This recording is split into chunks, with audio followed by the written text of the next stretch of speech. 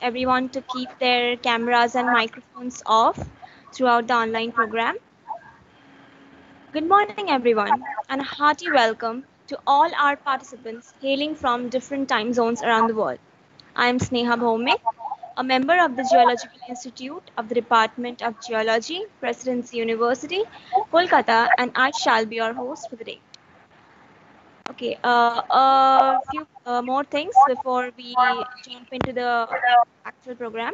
I'll request everyone again to keep their cameras and microphones off throughout the lecture as this is extremely important to maintain a smooth session. A question answer form has already been sent to all the participants via email and the Telegram group along with the shared webinar link. In case you do not find it in your mail inbox, kindly check your spam folder. If you are viewing us on YouTube, please check the description box to find the link uh, for the question answer form. On behalf of the Geological Institute, Presidency University, I would like to welcome you all to the third lecture of our Geochron 2020. Today, we are fortunate to have with us Dr. Sujoy Kanti Ghosh, who is currently an assistant professor in the Department of Geology and Geophysics, Indian Institute of Technology, Kharagpur, India. Dr. Sujoy Kanti Ghosh is a well-known experimental petrologist who has gathered remarkable experience from various parts of the world. His primary research interest is to explore the role of volatiles in the deep mantle and its physical properties. Also, his recent uh, uh, his in research interest to explore the role of volatiles in mantle and its uh, physical properties. Also, his recent interest is volatile contents, mostly water and nitrogen in man- mantle xenoliths and oxygen fugacity of lithospheric mantle. His contributions to earth science have been widely recognized by prestigious awards and fellowships. He has edited a special volume in chemical geology, Elsevier, as a guest editor and regularly reviews the manuscripts of top earth science journals. I would now request our very own Dr. Arijit Rai, professor in the Department of Geology, Presidency University, to give a bit more introduction about our speaker and to welcome him to start the session. Over to you, sir. Thank you. Uh, as already Sneha mentioned, uh, Sujoy is basically experimental petrologist. He did his uh, undergraduate and masters from Allahabad University. Then he uh, went to Japan, where he did his second masters and then PhD on experimental petrology and mineral physics from the Tohoku University with Eiji Ohtani. And then after his PhD, he moved to Zurich, ETH, where he did his postdoctoral work. His main research interest is now confined to the high pressure experimental petrology and role of volatiles in mantle rocks. These two areas are, so far I know, relatively less studied areas in our petrology and Sujoy has attempted. Setting up a high pressure laboratory in our country itself is a commendable job and Sujoy has done it successfully and in the process he has opened up scope for the researchers to do high pressure experiments in his laboratory. And the other aspect, that is the role of volatile in mantle rock, is again a difficult areas of research because mantle rocks are not readily available for study. We only get them as mantle xenoliths and as uh, mantle section of the ophiolites. So the role of volatiles in mantle rock is again a less studied area, data are inadequate. Sujoy has uh, already published, did some work and published his work in very good journal, and I hope he will produce more valuable data. Today he will talk on his high pressure experimental laboratory and his work, and I'm also interested to hear from him the volatile role of volatile in mantle rock, of course in another day. For today, I request Sujoy to please come and deliver today's talk. Sujoy, please. Hello. Hello. Yes, Hello. sir. Yes, Can sir. you hear You're, me? You're audible, sir. Yes. Yeah, you're audible. Okay. So uh, can you see my, my slides? Uh, no, so you have to present it once more, I guess. I see. I see. Just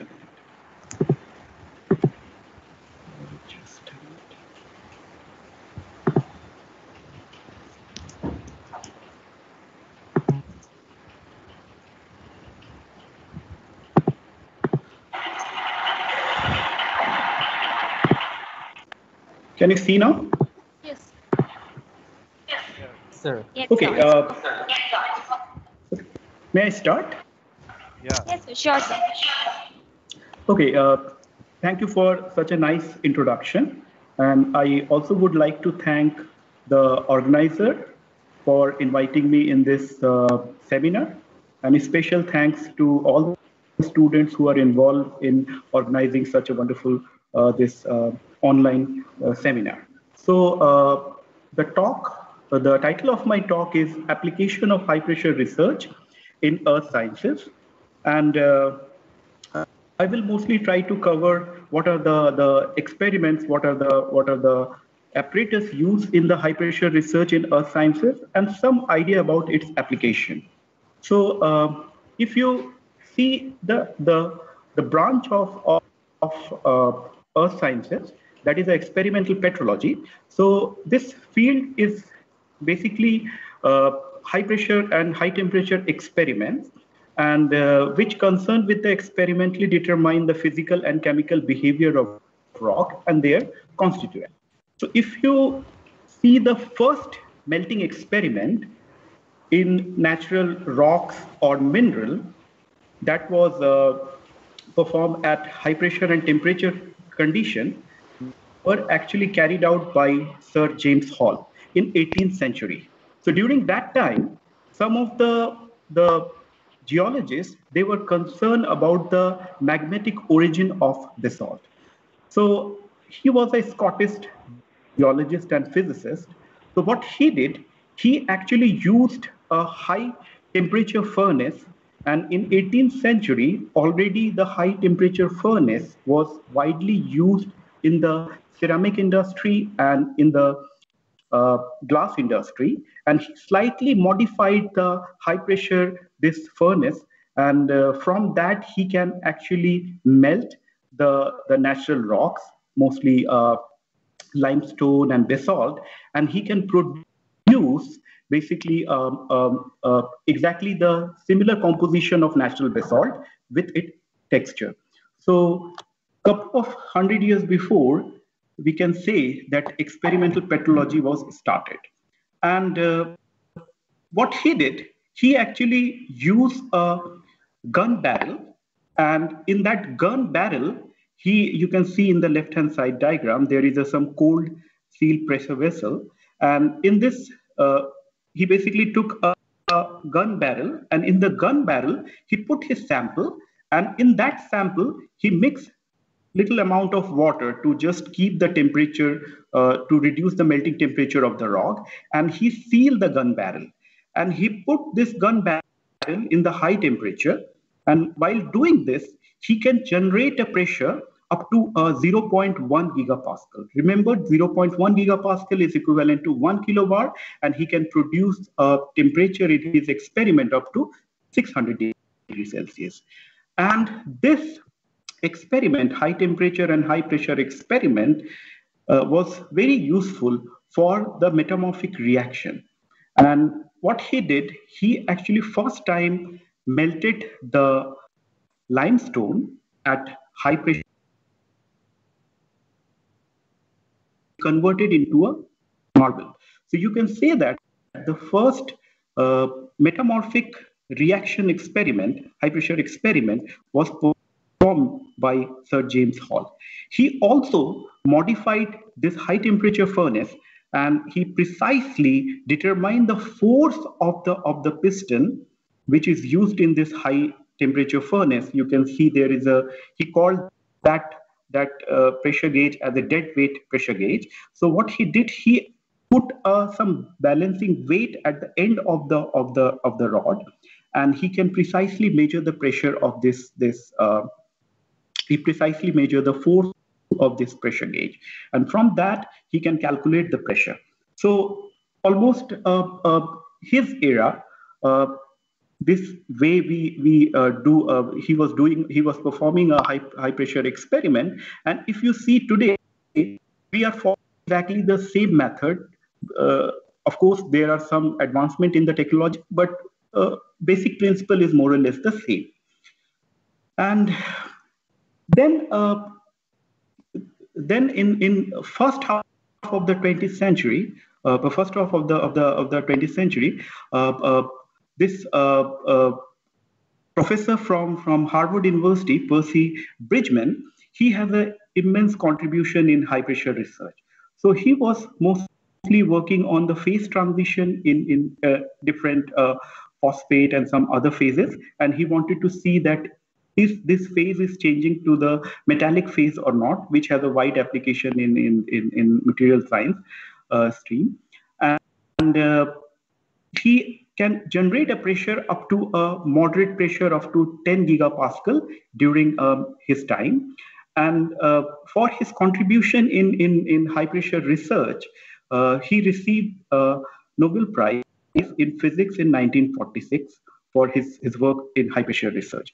And recently, uh, there are uh, some meteorites in which uh, Earth's uh, largest or, or the most volumetric phase is present, uh, perovskite, that is uh, uh, naturally occurred in Tenham meteorite in Australia. And uh, IMA, International Mineralogical Association, gave this magnesium perovskite to his name to honor his contribution in high pressure research. And now we call the magnesium perovskite the Bridgman. And you can see the crystal structure of the Bridgmanite at the center panel. At the same time, uh, in geophysical lab in, in uh, Carnegie Institute in United States, another uh, uh American, uh, Canadian, uh, he did some one atmospheric pressure experiment at high temperature.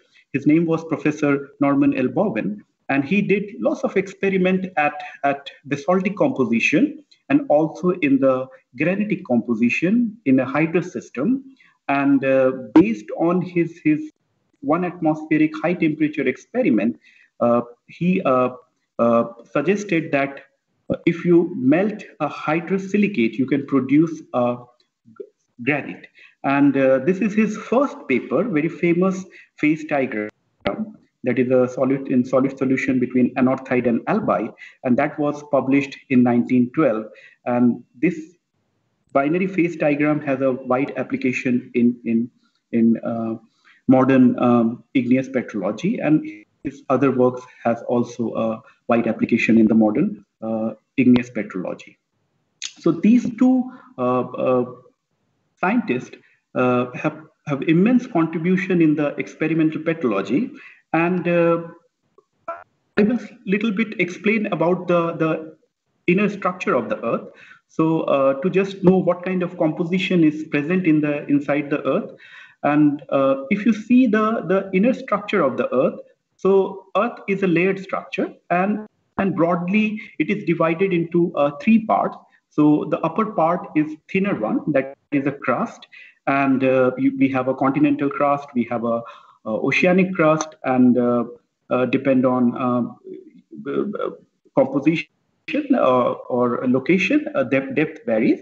And that is just a very little volume percent compared to the total uh, volume of the earth is less than 6% and if you see the the just below the crust we have a mantle and 70% of, of, of the earth is is mantle and I will go in detail in the next slide. And then we have a outer core, which is in the liquid phase. And then we have an inner core that is a solid phase. And uh, now the question comes, if the radius of the Earth is, is 6,370 kilometer, so now the question is how far down man can can go to this earth. So uh, if you see the the left hand top panel, this uh, figure, so there is a is a deepest mine is in the Johannesburg, South Africa. That is a TauTona gold mine, and, and TauTona gold mine is very famous because this is the deepest mine, and also uh, in this mine, uh, geologists extract the gold, and uh, geologists can drill up to uh, dug a hole up to uh, four kilometer, three precisely 3.9 kilometer, and below that it is not possible to dig because at that particular depth, the temperature of the earth is almost 60 degrees Celsius, and pressure is, is several hundred times more than the atmospheric pressure. To keep the mine habitable, you need uh, it's difficult to, to uh, keep uh, habitable uh, conditions in that depth. So the deepest mine is up to a four kilometer. So you can, if you convert to the to the volume per se, so it's just very very tiny compared to the total radius of the Earth. And uh, so if you cannot go below four kilometer, the next question comes: How deep we can dig a hole? So there is a is a several uh, drilling program, continental crust drilling program, and there is a very famous drilling program in Russia that is in in Kola Pro Peninsula, and uh, in this peninsula, Russian scientists can drill up to a 12.3 kilometer depth, and we can collect a sample up to a 12.3 kilometer depth. And if you compare with a, with a radius of, of the Earth, that is 6,370 kilometer, it's a very small part. So if you see the another uh, information, which is coming from the interior of the Earth, is from the mantle xenolith. And uh, mantle xenolith is, a, is a, some foreign uh, particle, uh, for foreign rock, which is uh, uh, getting inside the some kimberlite volcanism and these these are shown in the in the right hand uh, top panel. And uh, in this uh, mantle xenolith, this is basically a peridotite xenolith. And in this peridotite xenolith, you have mostly uh, olivine. Then you have a two types of pyroxene. So olivine is a, is a light green and dark green is a pyroxene. And then big red, these crystals are actually garnet. And these xenoliths are coming from five, uh, 150 to 200 kilometer. And sometime, if we are lucky, we get a sample just below 200 kilometer depth, and that is in the form of diamond. So sometimes these diamonds are trapping some fine inclusions. And if you study these fine inclusions, and if you know the, the mineralogy of the, of the deep mantle for Earth's interior, you can tell that at which depth these diamonds are coming.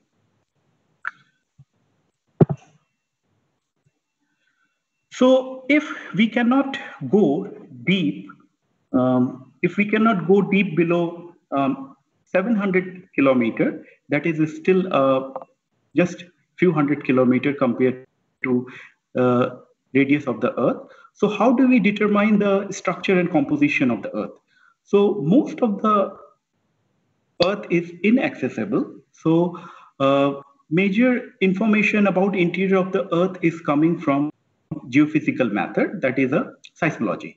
So in the seismology, mostly uh, geophysicists, they study the seismic waves and that propagate uh, uh, through the different layers of the earth and then it reflect and, and refract and then finally uh, they collect all this uh, uh, P wave and S waves and from that they are trying to understand what kind of, of material is present inside the earth.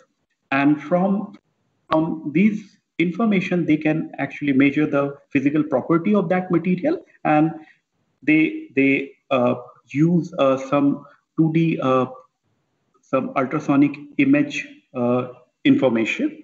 So uh, that is used in the medical profession. So for example, if you see this is a tomographic structure of the mantle at different location, and uh, blue is basically a high velocity, which indicates, so you can see there are different colors. For example, if you see the Central America, And in the Central America, you see that some of the material, that blue color, is going to the core mantle boundary. So there are a three dash line you can see in this diagram. So upper one is a 410 kilometer depth, and the middle one is 660 kilometer depth. And uh, the center America, uh, the lower one is the core mantle boundary that is at 2,900 kilometer depth. So if you see this, this tomographic structure, you will understand that how the material is uh, moving in inside the earth once is subducted. So in the in the central Japan, the Pacific plate is going just below the Japan, and it is not moving below the 660 kilometer depth that is indicated by a this middle dash line.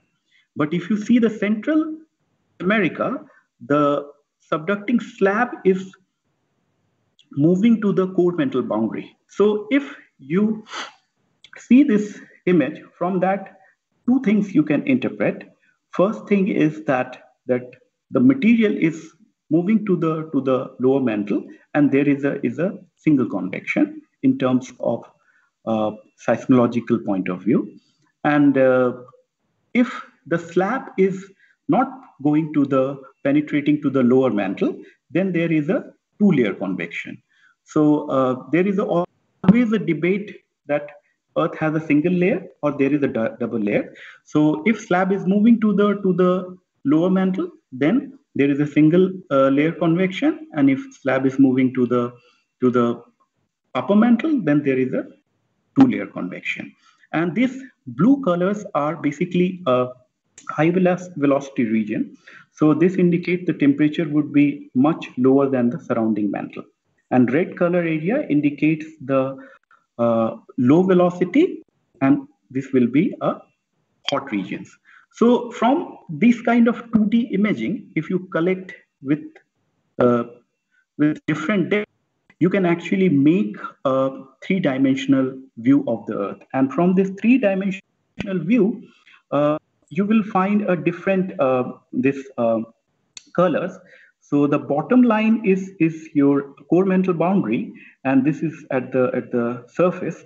So you see some blue material is moving upward, and even some location you're just below uh, uh, Africa. Some material is is hot material is moving from the from the core mantle boundary. So these kind of information is very, very helpful because from this kind of information, uh, seismologists basically interpret what kind of composition, what kind of temperature Earth has at different layers. So there is a is a also very information. Uh, there is also very important uh, information which comes from seismology. That is uh, your P wave and S wave, how it's changing, and also how the density is changing with depth. So if you see the this VP, that is a primary wave, and there is a VS, that is a secondary wave, denoted by a dash line. So you see the, the primary VP wave is basically increasing when you're moving from upper mantle to transition zone to lower mantle. And then there is a is a is a sharp drop in the velocity, and then again it's increasing, and then again it's increasing in the inner core. Because at uh, 2,900 kilometer depth, the composition is changing, and outer core is completely liquid.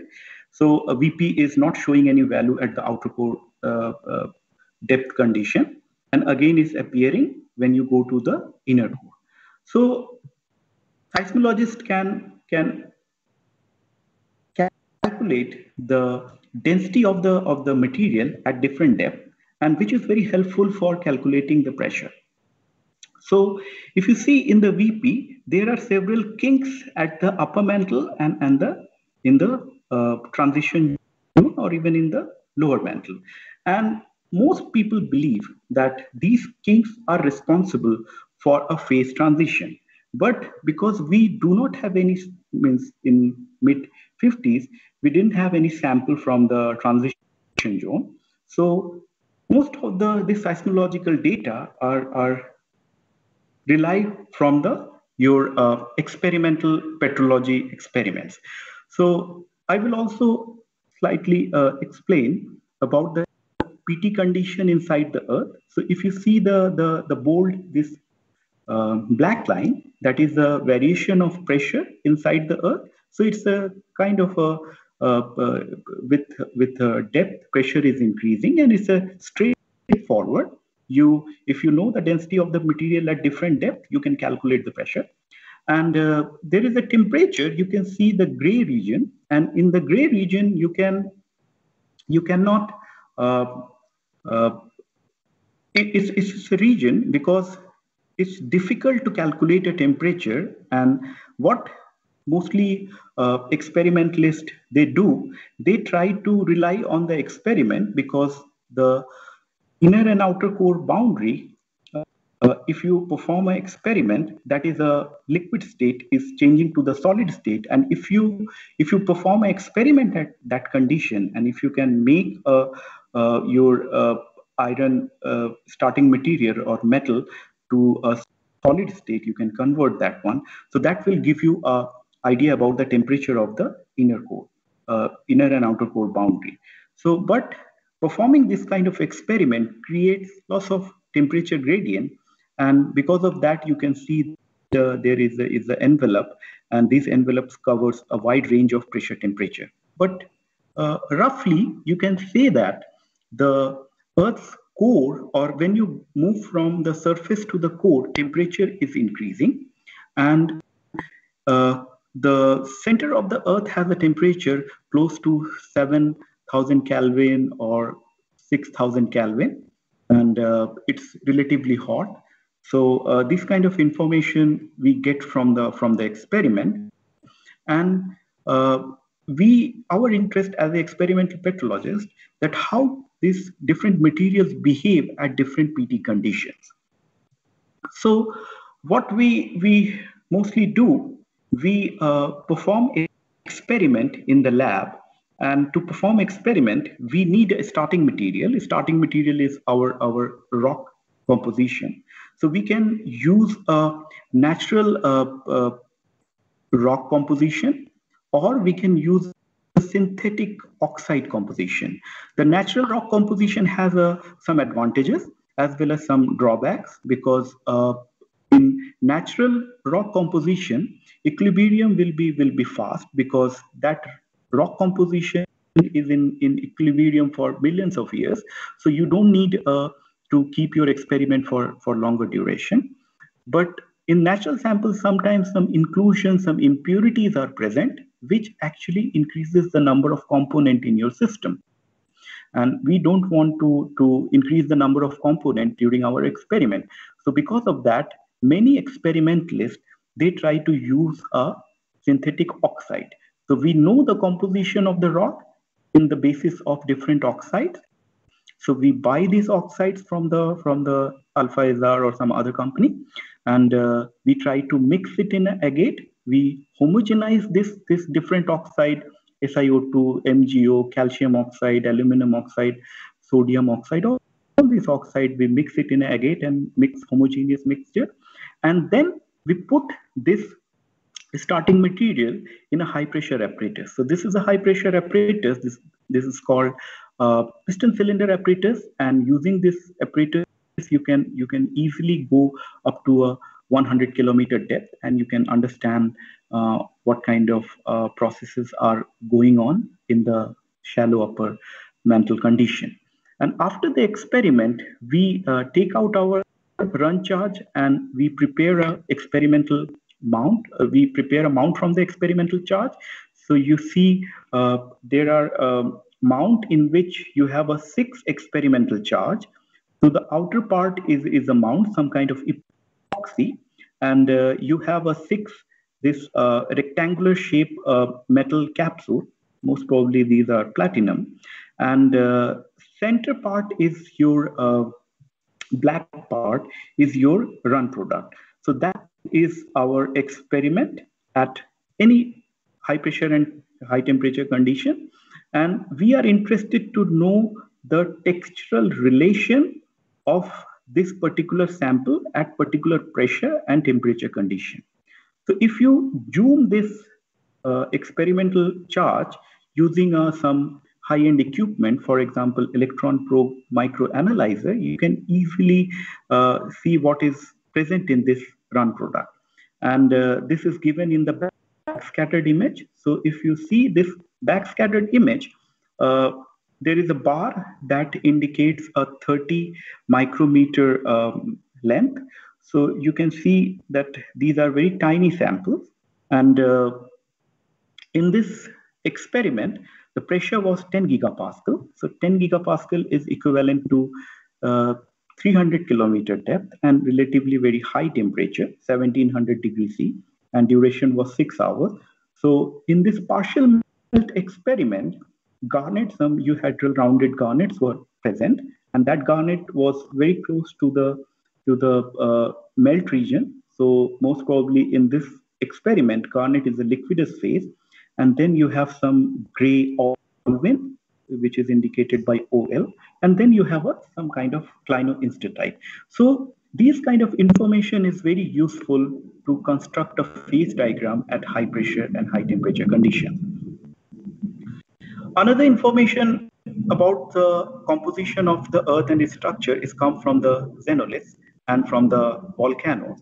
And uh, most of the volcanoes are coming from the shallow depth, but if you see the some of the uh, deepest uh, this uh, peridotite. So there are some peridotites from, from Dharwar Craton. So these are coming from the base of the Dharwar Craton. So it's almost like a 180 kilometer depth. And uh, we have sometimes a peridotitic composition uh, and sometimes we have a eclogitic composition, which also suggests that mantle is not homogeneous. It's a heterogeneous. You have a different composition.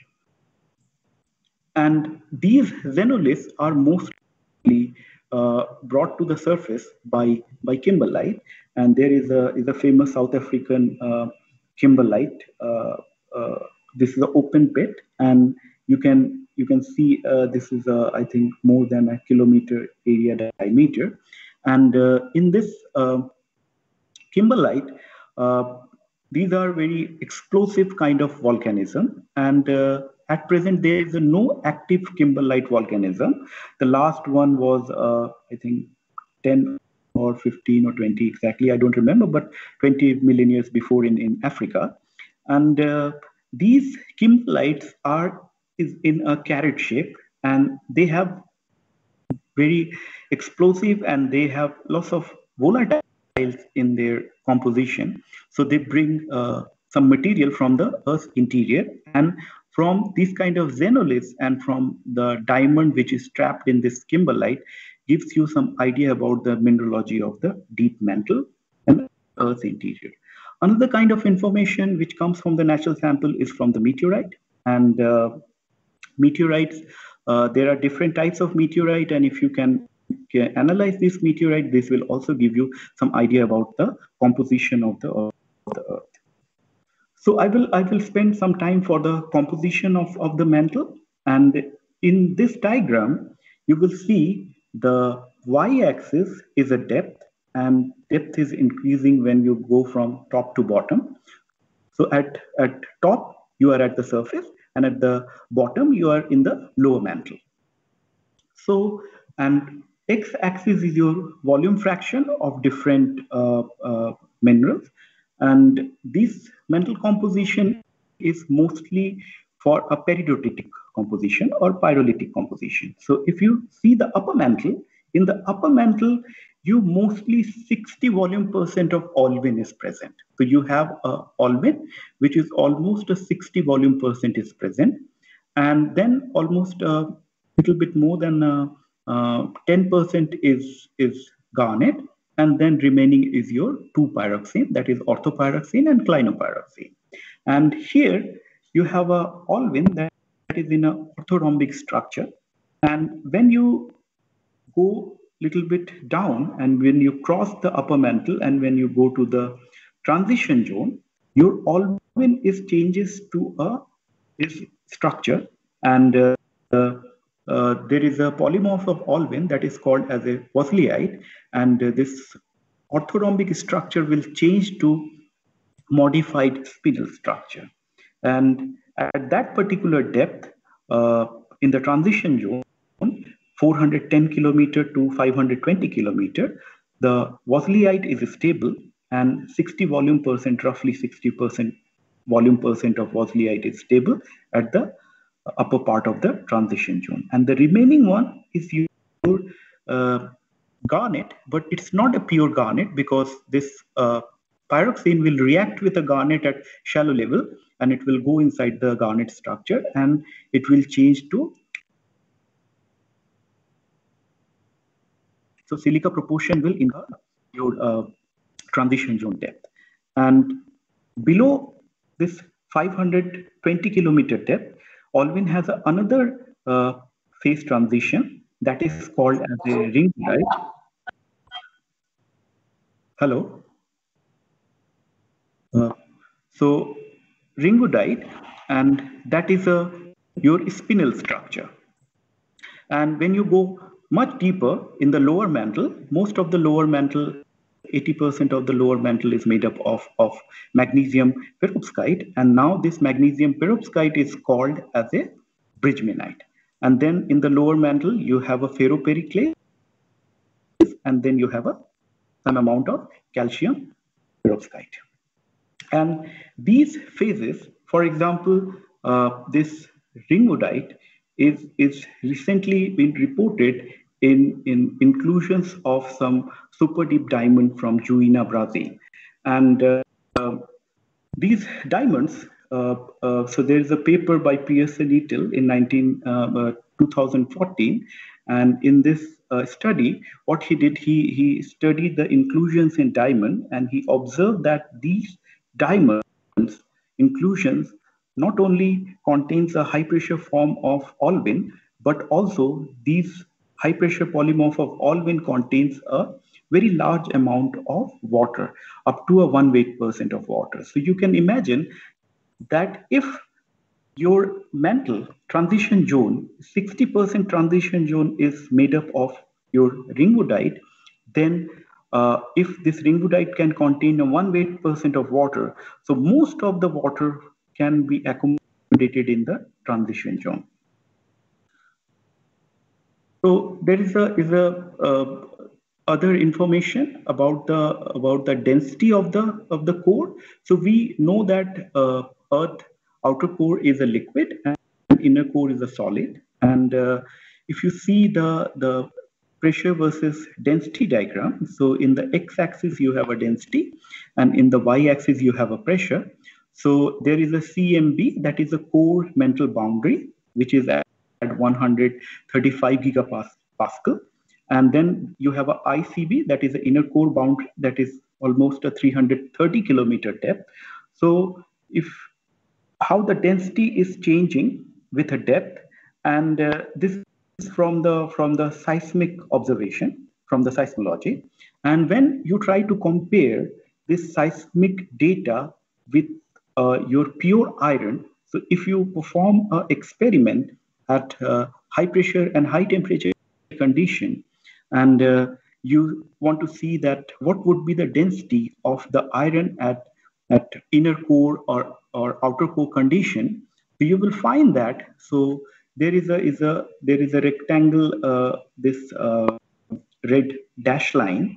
So uh, in this uh, dash line this shows a pure iron density at uh, high pressure and high temperature condition using a diamond anvil cell experiment and this density is much higher than the real uh, your density of the of the inner core or outer core so from this kind of information you can understand that the density of the earth is lower than the density of the pure iron. And this density, and, and in, in, in experimental petrology or in the mineral physics, this is called as a density deficit. So earth has a 10% density deficit when you uh, compare with a pure iron. So uh, what, what does it mean? Suppose if you have uh, some uh, if you do not have a pure iron, then what are the material present in the in the in the core? So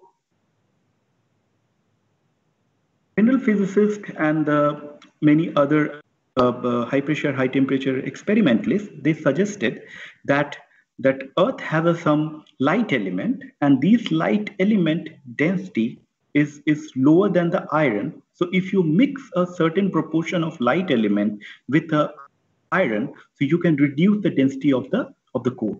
So uh, there are some light element is present in the in the core, and there are some criteria for that to selecting this different light element. So it must be a high cosmic abundance, and so basically any uh, element which has a lower atomic number than iron could be a light element if it just covers all these three criteria. So if uh, element has a high cosmic abundance, if it sufficiently soluble in iron nickel alloy, because if it will not soluble iron nickel alloy, it will not stay for a longer duration. And uh, partition strongly into the liquid iron during low pressure melting because the core formation was not at a 300 or 400 uh, gigapascal pressure. It is a relatively lower pressure at 30 to 50 gigapascal pressure. And based on this, this suggestion, people have suggested that oxygen, silicon, sulfur, carbon, hydrogen, potassium, this could be a uh, light elements. So now, how we calculate the pressure? So that is the next question. So it's a very simple, as I, I have shown in my introductory slide, that uh, Sir James uh, uh, he actually calculated the pressure by just putting a weight at the at the rod at the end. And uh, so pressure is, is calculated by force upon area. So you can increase the pressure by just simply uh, increasing a force or decreasing an area. So just a few examples if you see the, the pressure at sea level, so the pressure is one atmosphere. And if you go to the uh, top of the Mount Everest, so the pressure is reduced because air columns are, are relatively light. So you have a lower uh, uh, pressure, one fourth of the atmospheric pressure. And when you go to the deeper part of the of the Earth, or, or when you go for the scuba dive, so, uh, for example, the deepest scuba dive is almost like 300 meter depth, and and that depth, your pressure is 32 atmosphere, and at the center of the of the Earth, your pressure is three 364 gigapascal. That is a 3.5 million atmospheric pressure. So you can understand that the Earth's interior has a very huge pressure, very high pressure. So now the question is, if you have a relatively very heavy thing. So can you increase a pressure? Or if you have a lighter thing but a smaller thing, uh, you will have a heavy pressure. So you can understand from, from this diagram. So suppose if you have, if you see an elephant, if you take an elephant, the weight of the elephant is, is uh, take 4,500 kilometer, 4,500 kilogram. And suppose if his feet is almost uh, 260 centimeters square area. And if that foot is uh, put on your, your feet, so you will find the pressure of 10 atmospheric pressure. That is, we generally, if we do a scuba diving, we uh, face a much uh, larger pressure than the 10 atmospheric pressure. So basically, if you have a very large body, but if the area is big, it will not create a very high pressure. But if you see the the women who's wearing a heel, and suppose uh, the women uh, whose weight is 45 kilometer, uh, kilogram, and the area of the tip of the heel is 0.5 centimeter square, so that will create a 100 atmospheric pressure. So uh, women in high heel uh, can produce a 10 times larger pressure than the elephant who is uh, uh, much heavier than the, so pressure is not only dependent on force but area also plays a very vital role. So there are uh, three different types of uh, equipment we are using. There are some other type of equipment, but I will try to just stick to the three this different equipment. So the first one is a piston cylinder apparatus. And in this piston cylinder apparatus, um, we can easily go up to a 4 gigapascal pressure. In few labs, um, people can go up to a 6 gigapascal or a little bit higher also. But generally, um, we can easily go up to the 4 gigapascal pressure. And there is a, is a another uh, uh, type of apparatus that is called as a multi-anvil apparatus. And in this multi-anvil apparatus, you can easily go up to a 25 gigapascal pressure, and uh, which is equivalent to 660 kilometer depth.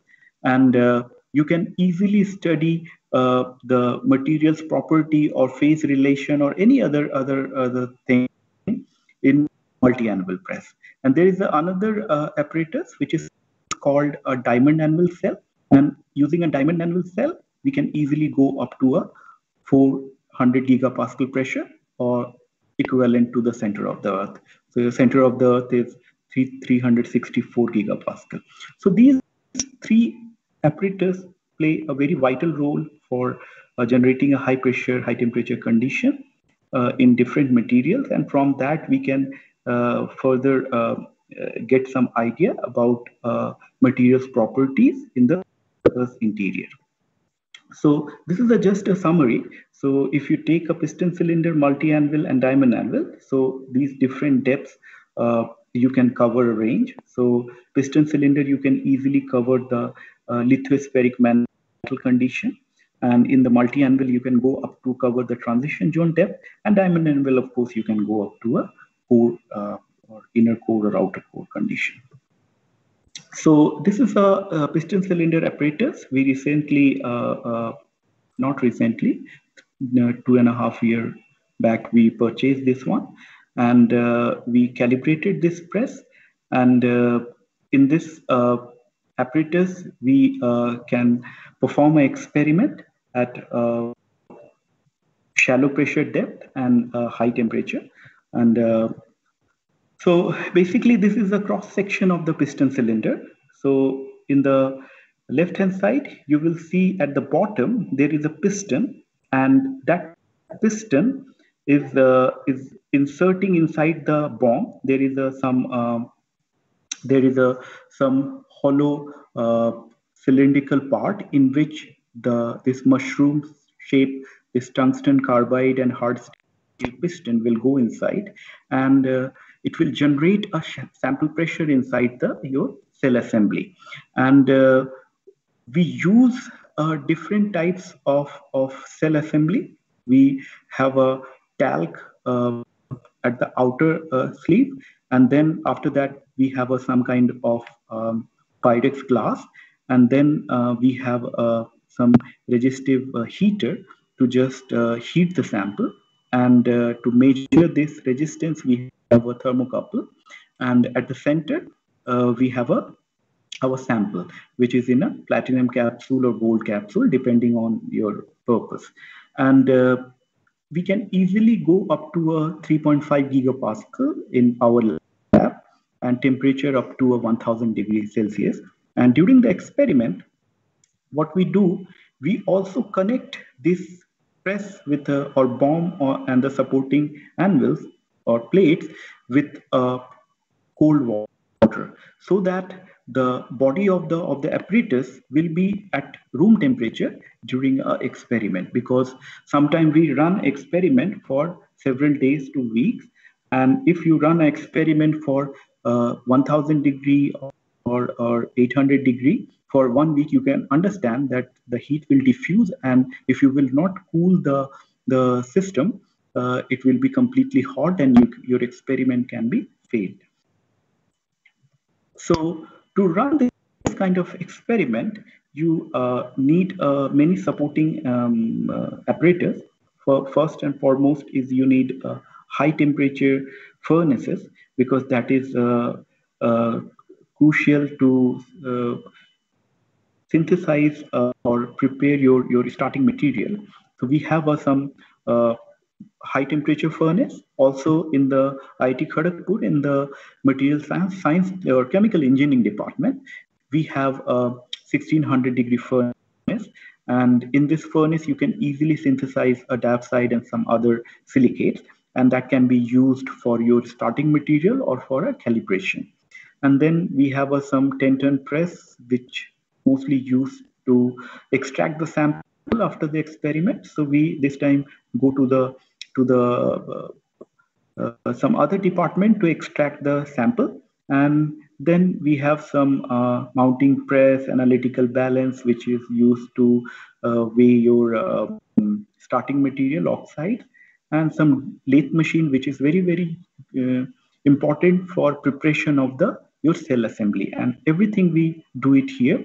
And uh, um, to run this kind of experiment, uh, we have a, a, a team of students and uh, currently there are many students are working on the experimental uh, uh, this uh, field and uh, uh, Jiten is, is working on a um, Jiten Patnaik is a, is a final year PhD student. He's mostly working on a mental Zen and Kishan is mostly working on the high temperature phases in meteorites. And Jiten, Shomendu and they are working on an experimental project. And we have uh, another phd student rajesh who is working in meteorite. So uh, we have also some mtech and msc students. And uh, uh, so they will uh, submit their, their dissertation i think next year so uh, let's move to the multi-anvil apparatus in the multi-anvil apparatus we have uh, uh, two blocks top portion and the bottom portion and the in the top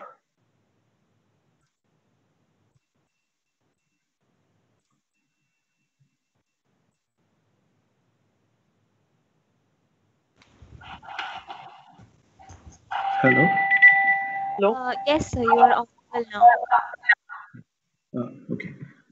So uh, in the in the multi-anvil press, uh, basically in the piston cylinder you have a bomb and that bomb has a uh, this center part is hollow cavity and in that uh, hollow part cylindrical part you put your pressure uh, assembly but in case of multi-anvil we use a different anvils so you can see there are eight anvils in the right hand side diagram and these anvils are basically truncated at the edge so the way it's truncated that this MgO pressure media octahedron can be placed here. And then we put uh, another top four anvils at the top of the at the uh, the bottom of this four anvil, and all these eight cubes will go inside the the multi anvil. And in this multi anvil, the tungsten these anvils are basically made up of tungsten carbide, and uh, this is called as a second stage anvil.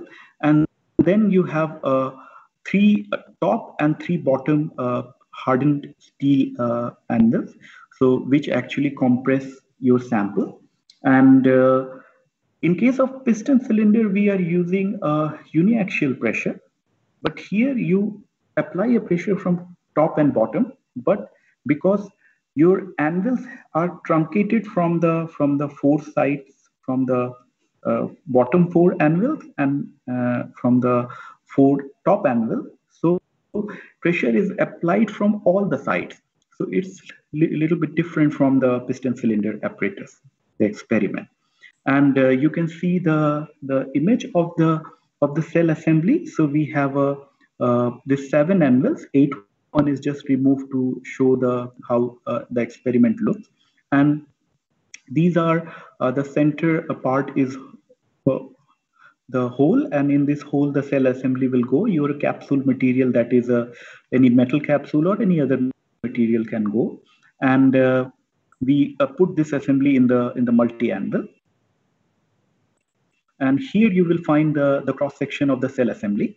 And uh, we put a thermocouple to just measure the temperature uh, in the in the experiment and uh, we put a thermocouple very close to the sample and uh, in multi-anvil, mostly we use a lanthanum chromite heater because uh, in piston cylinder, we use a graphite furnace, which is changes to a diamond at more than 5 GPa pressure.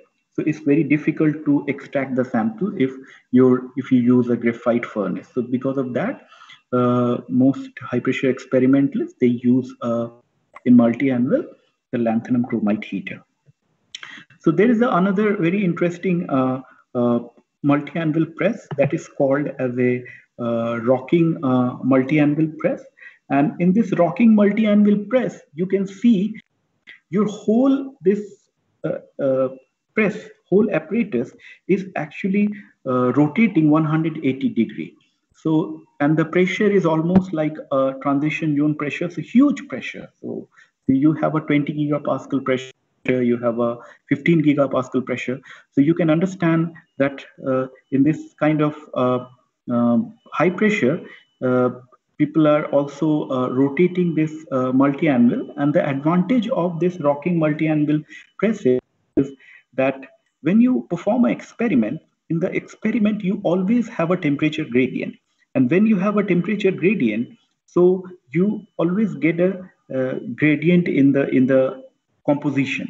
So to overcome from this problem, uh, people uh, try to uh, uh, modify this multi-anvil press and they they prepare a rocking multi-anvil press. So in that, if you rotate the press during the experiment, your uh, low density material will move upward and then it will go downward. So everything will be homogeneous. So you will not get a, a, a stratification in your uh, run product. So this kind of uh, press is, is uh, mm, present in ETH and some other labs also have this kind of unique facility. Um, so this is a very, very important uh,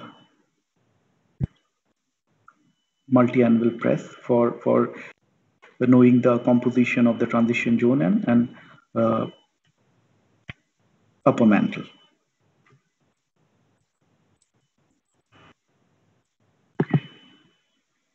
So I will uh, slightly move to the to the now application part, and uh, I will try to to cover few topics quickly. Uh, and uh, I for last 15 16 years i'm working on a on a, a deep carbon cycle.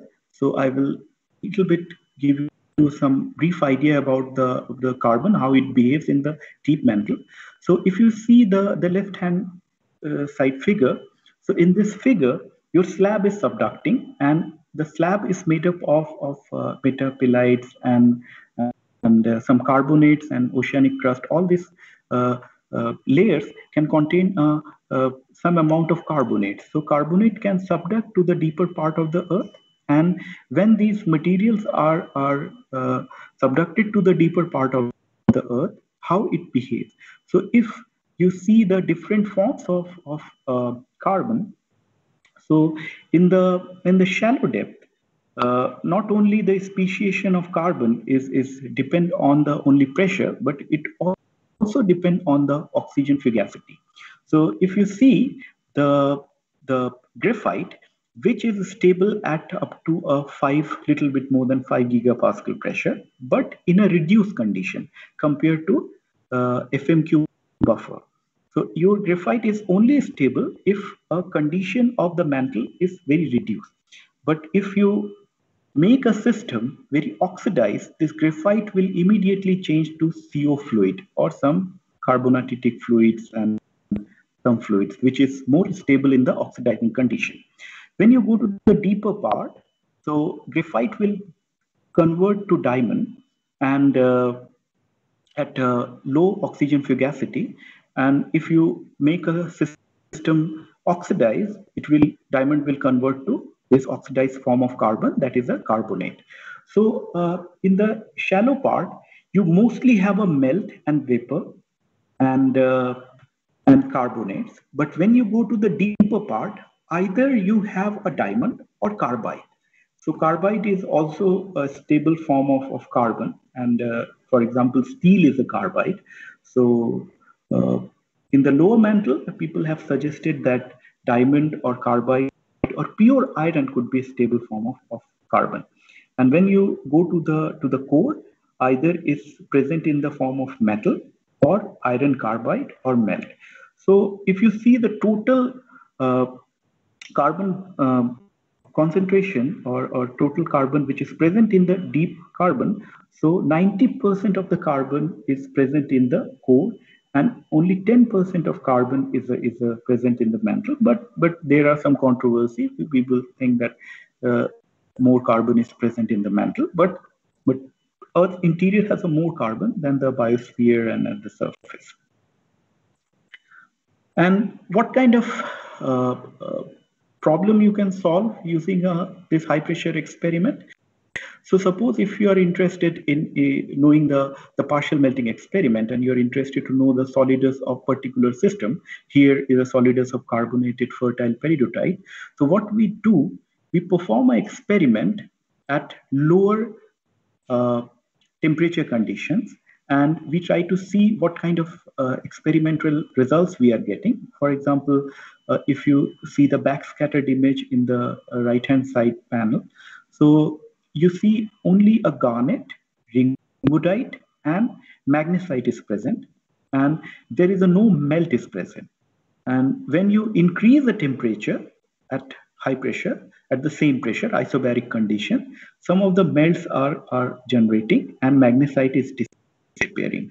So basically, if you know the temperature of these two run, so you can constrain at particular pressure, you can constrain the solidus. So solidus, so open upper triangle will be uh, your subsolidus run and the dark black downward triangle is your uh, supersolidus run. So you can you can say that your solidus will be in between these two experiment and you can precisely constrain the solidus of any system and you can draw a, a solidus and you can also analyze this tiny melts and you can see that what kind of melt is stable in this system at particular uh, pressure and temperature condition and it shows exactly the same composition as a natural magma or not. So this is a one type of experiment you can do and uh, uh, I think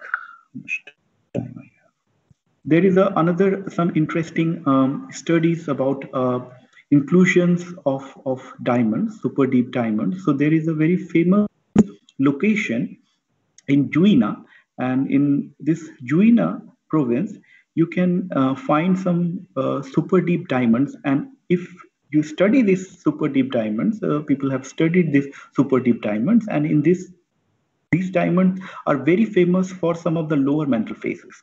So um, this is a very famous paper from uh, Walter Etel.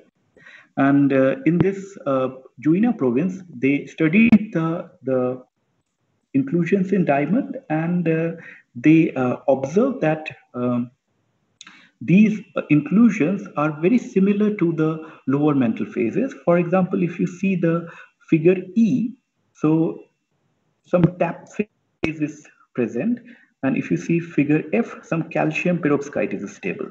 And uh, so, so these TAPP phase is mostly, if you know the, the phase diagram of basalt at, at lower mantle or in the transition zone, you can correlate your this natural uh, uh, diamond inclusion uh, result to the to the phase diagram of or model proportion of basalt or peridotite in the in the lower mantle.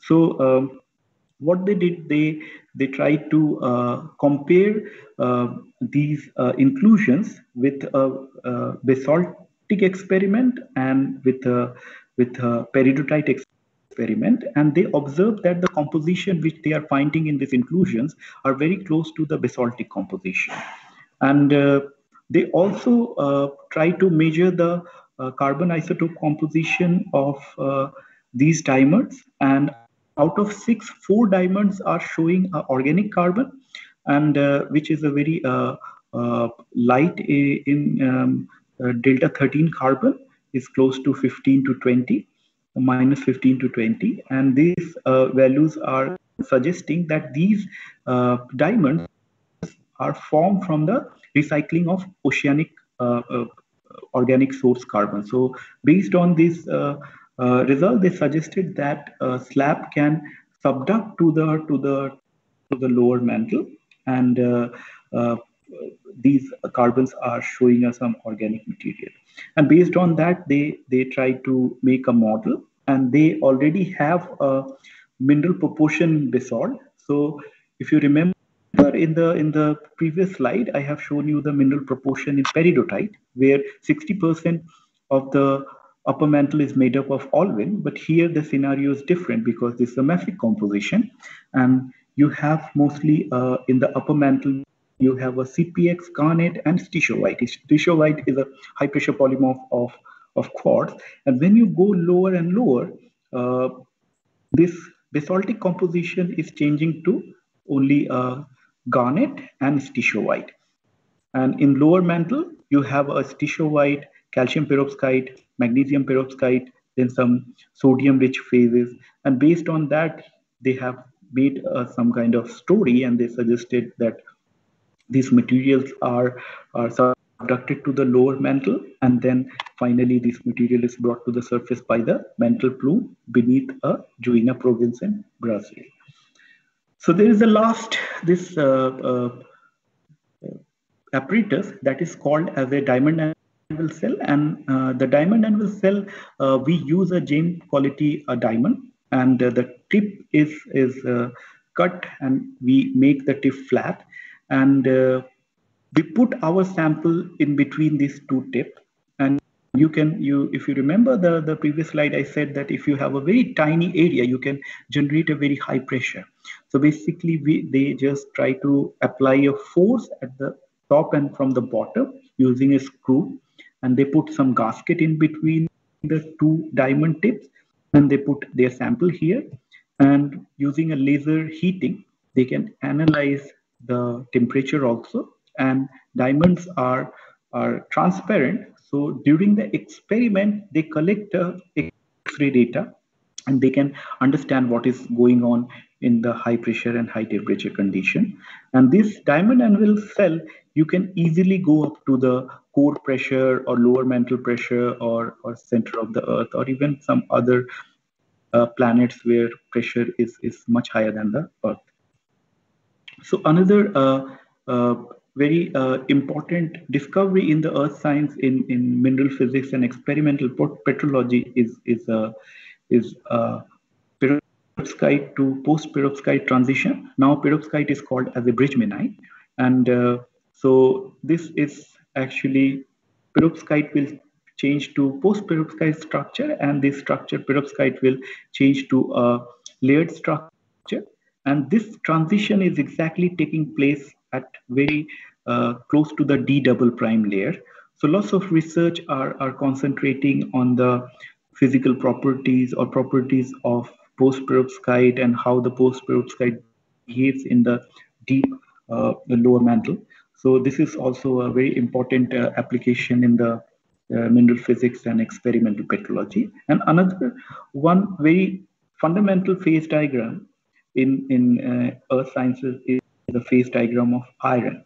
And for a long time, people have debated that Earth's inner core is a HCP structure or BCC structure. So iron has a metal has a different structure. So uh, if you know the phase diagram of iron, you can easily uh, uh, tell what kind of uh, what kind of uh, structure iron has in the inner core. So this is uh, your uh, pressure temperature diagram of iron. And uh, iron has a several phase transition. At a very low pressure, it's a body-centered cubic. And then at shallow pressure and high temperature, it has a face-centered cubic. And again, at very high temperature and shallow pressure, you have a uh, body-centered cubic. But when you go to the higher pressure, you mostly have a HCP structure. So, and these HCP structure of iron is a, is a, you, you cannot quench this phase. So, so basically when you release the pressure, it get back to the BCC structure, body center cubic. And because of that, there was a confusion for, for a long time that Earth has a BCC structure or a HCP structure. And if you see the the geotherm, which is close to uh, 5000 Kelvin or 6000 Kelvin at uh, 350 or 360 gigapascal pressure. So Earth has a mostly a HCP structure. So I will stop here and uh, I will uh, like to hear some questions.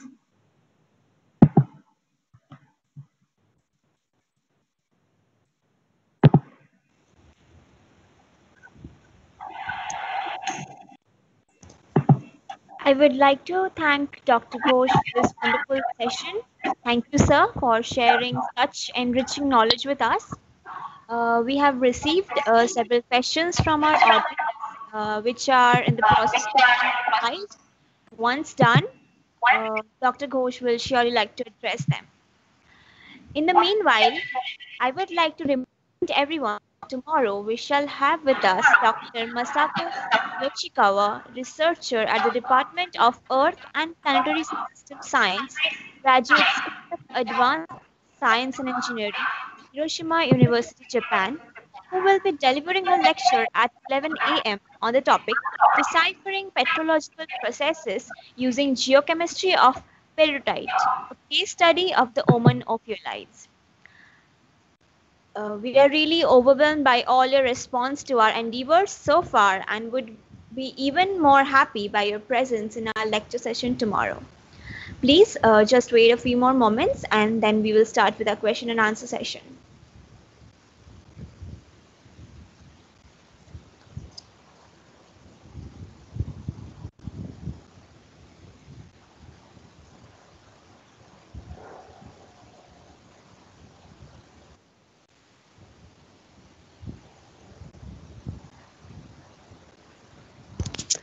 Okay, so the first question is from Debarun Mukherjee, uh, UG3, Presidency University. Why is there variability in seismic diagrams in Central America and Japan? How does it explain behavior of magma mixing, mantle wedge assimilation, and supra-subduction zone volcanism at the back arc?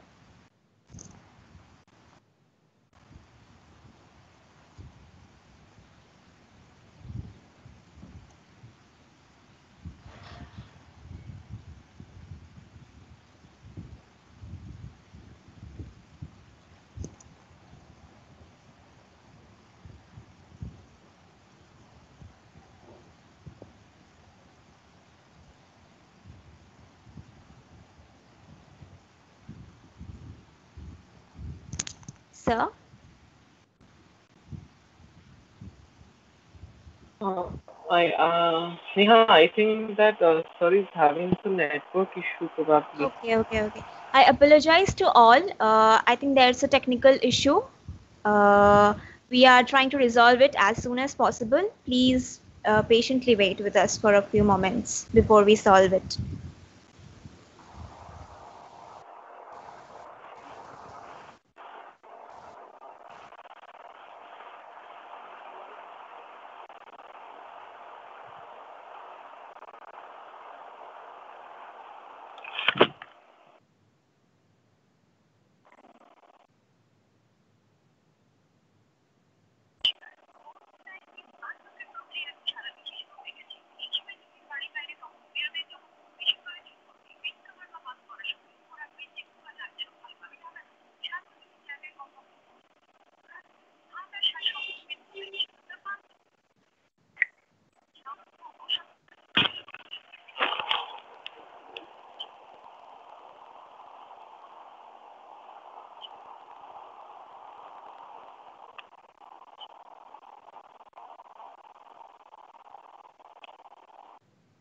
Uh, good afternoon.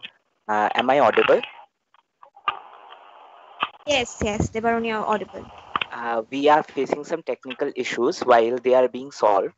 I would like to remind everybody that tomorrow we shall be having with us Dr. Masako Yoshikawa, whose No, works in the field don't of think so. geochemistry and igneous petrology has set a significant and everlasting footprint in the field. She is a well-known petrologist. She has worked on the Andaman and Oman ophiolites. Her extensive works on ophiolites and study of the mantle slices and melt extraction and metasomatism recorded in the basal peridotites of Oman has been greatly acclaimed all over the world. She has collaborated with several geoscientists from all across the globe. Some Marie Python, Shoji Arai, and her works have left a footprint on us. Tomorrow, we shall be having her with us deliver a small lecture and trying to engrasp our minds with her extensive knowledge. I am greatly happy to announce that she is with us here today attending this lecture and I would like to thank you ma'am for providing us time tomorrow.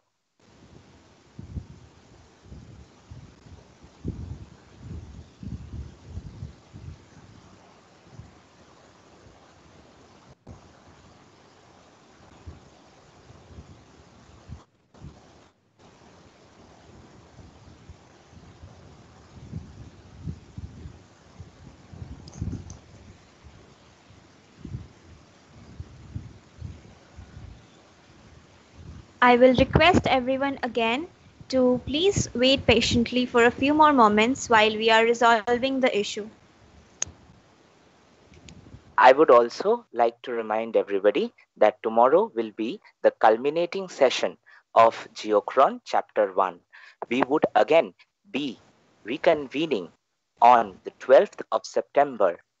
With us, we will have Dr. Sumit Chakraborty from Ruhr Universität Bochum for a lecture on metamorphic petrology. We have planned a series of lectures over September, beginning on 12th September. We will be having with us various renowned speakers from all across the globe. We would be appreciated with your presence on the days.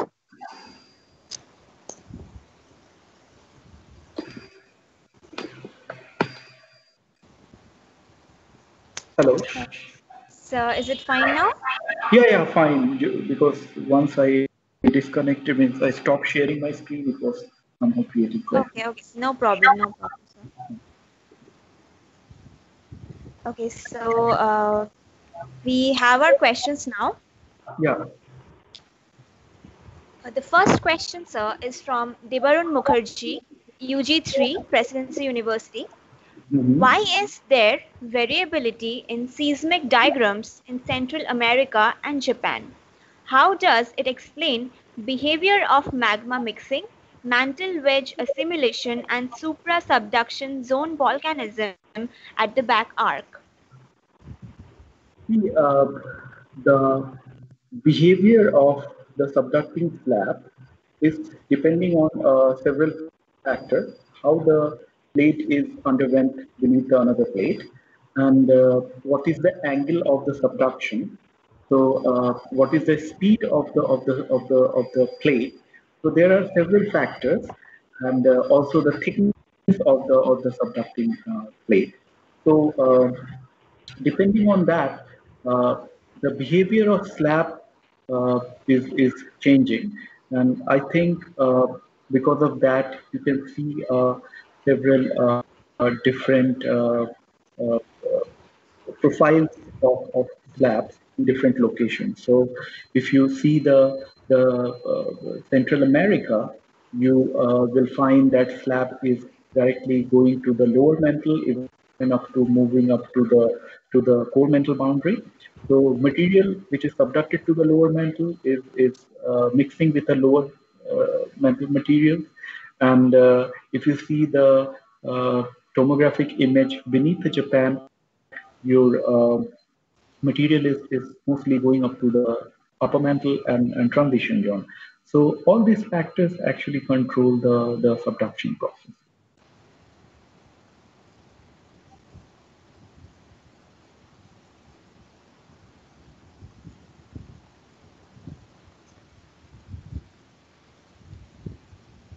Hello. Yes, sir. Uh, Yeah. Okay. So next- the next question is from uh, Mr. Sharbojit Dash, research scholar at CSIR NGRI, India. In the 2D tomographic diagram, we saw that the lower mantle and outer core boundary is characterized by cold substances. But in the pressure temperature diagram, we also observed a sharp increase in temperature at the core mantle boundary. Is there any specific reason for this? Uh, not really, because because if you uh, see the uh, this uh, frame uh, this uh, diagram, so you will find that at the bottom of the of the part of the lower mantle, that is the core mantle boundary, the last 200 kilometer depth, the profile is flat. So basically temperature profile is flat. So temperature is not increasing, it's uh, even decreasing. And this is mostly because people uh, believe that some of the of the uh, experimentalists and mineral physicists, they believe that lots of, or even even seismologists, they believe that the some of the slab is is accumulating at the at the bottom of the of the lower mantle, and because of that, you have a temperature gradient at the base of the lower mantle, and uh, because of that, if your slab temperature is definitely have a lower temperature than the surrounding mantle, so there will be a temperature gradient there, and uh, heat is is propagating from the from the outer core. So basically, uh, these uh, cold material will be easily melted, and and it will uh, density of this uh, materials will be much lower than the surrounding mantle, and it will uh, move upward and percolate to the to the to the lower mantle or to the upper mantle, or even sometimes it comes to the surface also. Okay. Uh, sir, the next question is from Srijita Ghosh, uh, BSc third year, Presidency University. Are there any evidences of carbonated mantle from meteorites or from Bridgmanite studies? Bridgmanite studies. Yeah, Bridgmanite is is, is uh, reported in in in uh, um, several meteorites, and uh, even carbonates also reported in in uh, in uh, carbonates and uh, diamonds are reported from the from the meteorite. So it's it's possible, but but uh, you try to understand that the, these meteorites have a very high pressure and temperature condition, and carbonates are mostly uh, stable at a lower temperature conditions. So uh, um, uh, in most of the cases, uh, you don't find a carbonate very easily. But silicates and, and metals are very common in, in meteorites. Yeah. You, you do find uh, carbonates and diamonds in the meteorites. Yeah. Okay. Uh, the next question is from Mr. Aryan K. Shashidharan, UG student, Hansraj College, India. Why kimberlites are in such cony shape? Um, because uh, the um, mostly because uh, it uh, ascend very fast. If you if you see the ascent rate of a kimberlite, so in few hours it can reach from 300 kilometer to the to the surface, and uh, mostly uh, these uh, volcanoes are uh, contain a very large amount of volatile and because of that this strange funnel shape is, is forming but currently we do not have any uh, active kimberlite volcano so uh, mostly this is from the from the jurassic or from the from the, mesoproterozoic or like these ages yeah. Uh, the next one is from Miss Ipshita Chatterjee PG student, the Maharaja Saya, uh, Sayajirao University of Vadodara, India. How can we use experimental petrology in detecting minerals of lower familiarity, such as from, or, uh, from meteorites?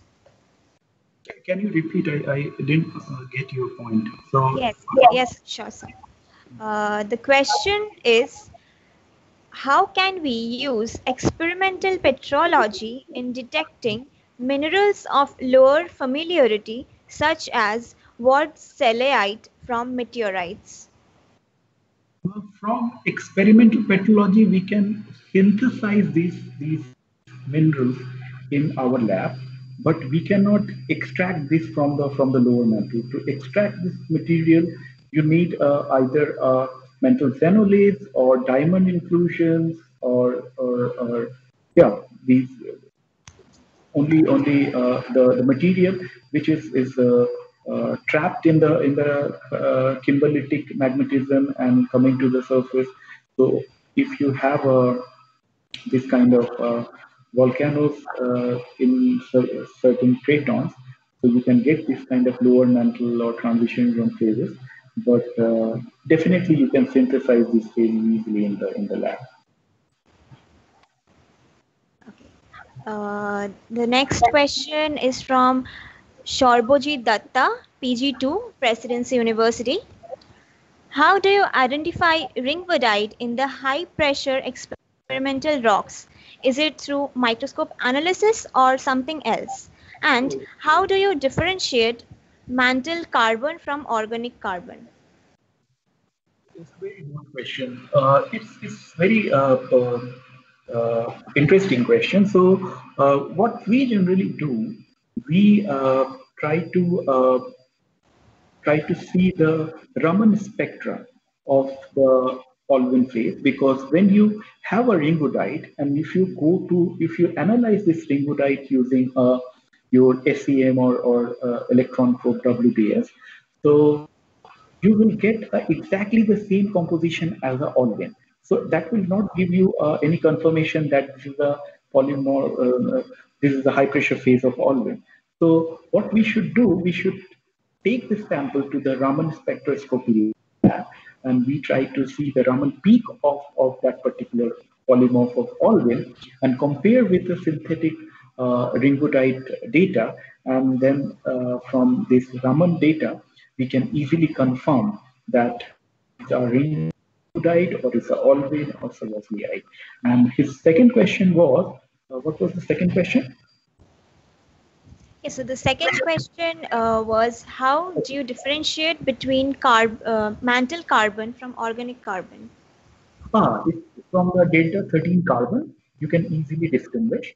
So if you if you uh, remember the, the the diagram which I have shown, so organic carbon will, will have a much lower value than the mantle carbon. So organic carbon would be minus 15 to minus 20. So if you measure the delta 13 carbon in your, your, your sample, you can easily distinguish if it's an organic or the mantle. Mantle carbon will be heavier than the organic carbon. Uh, so the next question is from Shoham Banerjee pass out, Presidency University. How can you sharply categorize the different pressure temperature conditions at different depths within the mantle using these experimental procedures? As we know, there are several variations due to changes or anomalies in geothermal geobaric gradients like at the hot spots and the subduction zones. Uh, he is right that precisely we cannot measure the, the temperature. Pressure calculation is relatively easier because uh, uh, we have a density data from, from the PREM uh, and uh, from that you can calculate the pressure. But uh, if you want to calculate temperature, you have to see the, the phase transition at the different discontinuity. For example, if you take a pure iron, and you run an experiment at a core mantle boundary or uh, inner core outer core boundary. So you can just reduce the pressure slightly and if your material is is uh, melting you can say that that uh, uh this is the temperature where uh, the inner core temperature would be or, or this is the temperature of the inner and outer core boundary would be.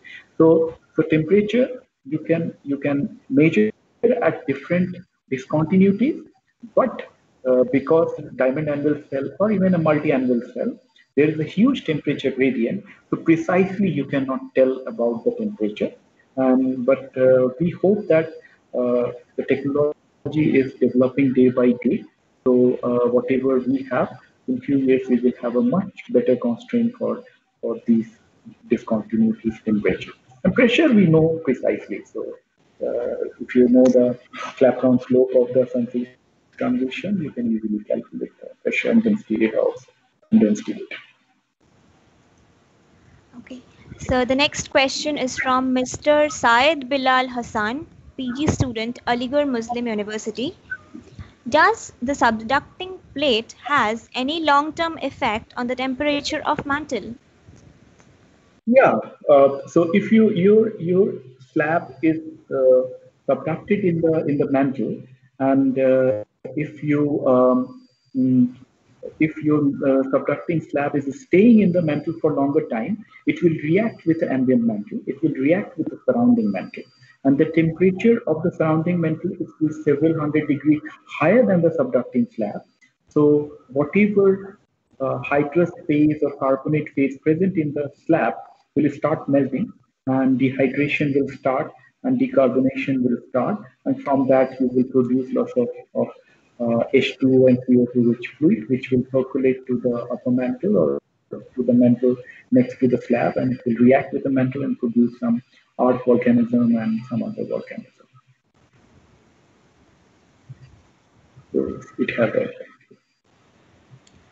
Uh, okay, so the next question we have from Mr. Gaurav Sinha, Maha, uh, Gaurav Sinha Mahapatra, UG student, Jagannath Kishore College, Purulia. How is the correlation done between the observations in nature and the experiments conducted in the laboratory and also with the hypothetically proposed models? what exactly is asking, but uh, we mostly in in um, Earth is is inaccessible, so we do not know much about uh, the deeper part of the mantle because we do not have any direct sample. So, but we have a seismological observation so what we do as an experimentalist, we, we perform an experiment and we try to, to understand whatever physical properties we know from the seismic data it matches with our experimental data or not. And from that, we try to understand more about the, the interior of the Earth.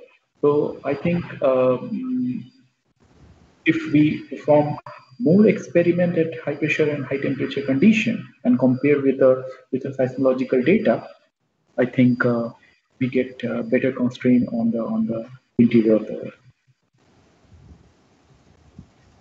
Uh, okay, so the next question uh, we have from Shinjon Roy, PG2, Presidency University. What role does subduction has on the 660 kilometer discontinuity? Yeah, this is a very interesting question because when you have uh, the slab that is subducted and goes to the 660, either it stagnates and or it will go further and to the lower mantle. Suppose if your slab is stagnant at 660 kilometer discontinuity, so basically your your temperature is much lower than the surrounding mantle. That is the peridotitic composition. And subducting slab composition is a massive composition.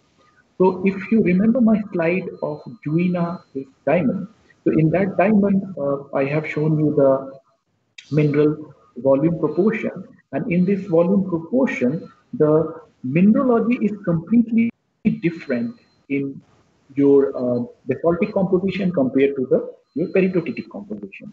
So uh, it will have a uh, very huge effect on the on the uh, uh the uh, the location of the 660. So it can actually move to the much lower uh, depth. So in peridotic composition, mostly you have a 660 at 660, but if a basalt is accumulated at 660, then your this phase transition, this ringwoodite to perovskite, will change to garnet to bridgmanite or garnet to magnesium perovskite.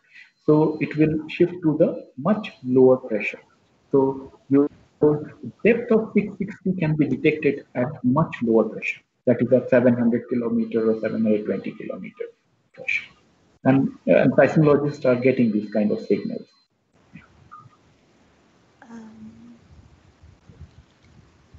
Okay, so the next question we have from Mr. Rahul Mahavar, faculty, Bastar University, India.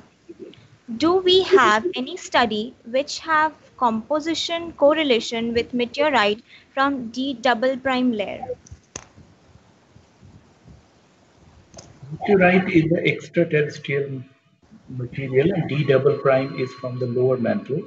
So definitely we do not have any any uh, such correlation.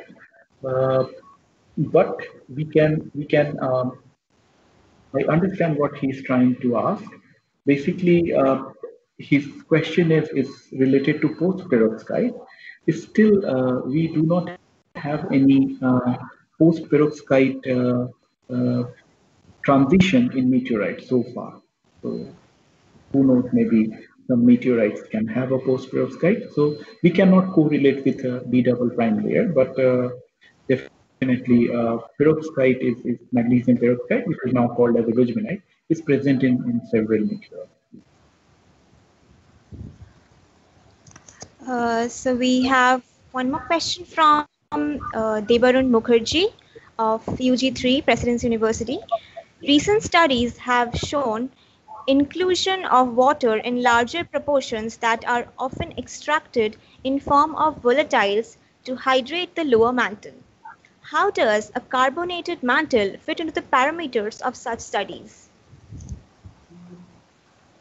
The deep water cycle and deep carbon cycle, they are two different things. So when we, we talk about water, water is, is can be present in bauxite, it can be present in ringwoodite, and all the water, suppose whatever water we have at the surface, three or four times more water we can accumulate at the at the transition zone. So basically transition zone is, is behaving like a sponge. The loss of water can be accumulated, but locally.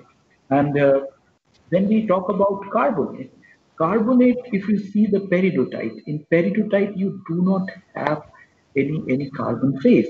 In peridotite, only four phases are stable. That is your olivine or its polymorphs, garnet, and two pyroxene. So there is no carbonate. But if there is a, is a place where you have a carbonate in the interior of the earth, it will it will depending on the on the on the pressure, temperature, and oxygen fugacity, it will it will will change to carbonate or it will change to diamond or it will change to uh, carbide or metal phase depending on on what kind of fugacity mantle has. So if it, it is very reduced, then diamond can be stable or carbide can be stable. And if mantle is very oxidized, suppose if uh, there is a subducting slab and subducting slab creates lots of uh, increases the fugacity, oxygen fugacity. So your your uh, uh, carbonatitic melt or some carbonates, these can be stable. So depending on what mantle oxygen fugacity we have, and, and people are working a lot uh, uh, for for knowing the, the oxygen fugacity of the deep mantle and, uh, and now we have better data for the deep mantle, but still we need to know more in future. Uh, okay, so we have one last question. We'll, uh, uh, it's from Dibendu Shorkar, PG student, Presidency University, India. Some work on high pressure metamorphism suggests that for exhumation process, there, the, uh, the stishovite present in rock indicates the 660 kilometer depth where the lithosphere had gone. Is it possible? Uh, metamorphism is, is mostly a very low pressure and low temperature condition. Uh, stishovite is, uh, there is another transition in, in quartz I think at uh, that is uh, at much higher pressure, 40 GP or something. Uh, but uh, white could be stable in the in the transition zone, but I'm not sure. I'm not sure. Uh, okay, thank you, sir. With that, we come to the end of our question and answer session. We apologize for the questions that we haven't been able to attend owing to the time constraint. Hope you'll uh, understand. me and uh, I would be happy to answer their question. And yeah, that would be a better option. Yeah, we can, uh, yes, sir, we can forward you the questions that uh, are left and you might. Okay, so now we have almost come to the end of today's session of Geochron 2020. We express our gratitude to Dr. Sujoy Kanti Ghosh for taking out the time from his busy schedule to be with us here today. Once again, thank you so much, sir. We are eager to maintain this relationship of love amongst us, and we hope to have you in the future for any such lecture session or workshop. Please visit our department uh, if you ever happen to be in Kolkata. Yeah, sure, sure. Yes. And uh, now we'll just take a screenshot to preserve the memory of this session. Uh, please keep your microphones off.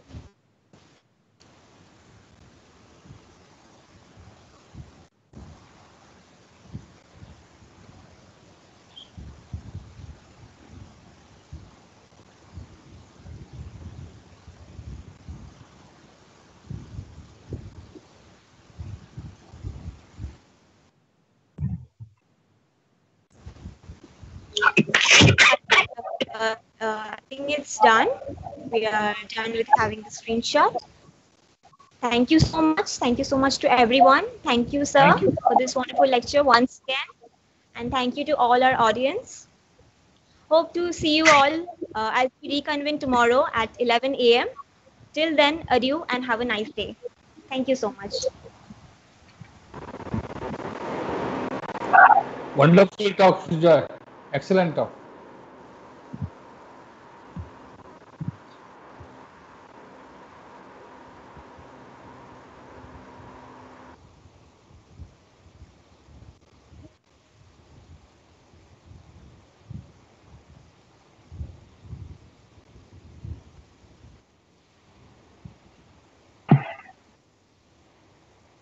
Hello.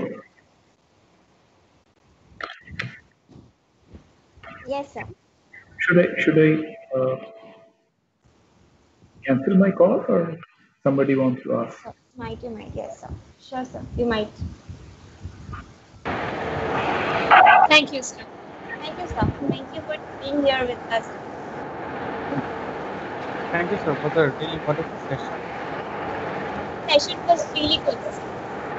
Thank you, sir, for taking our questions. We are very thankful to you.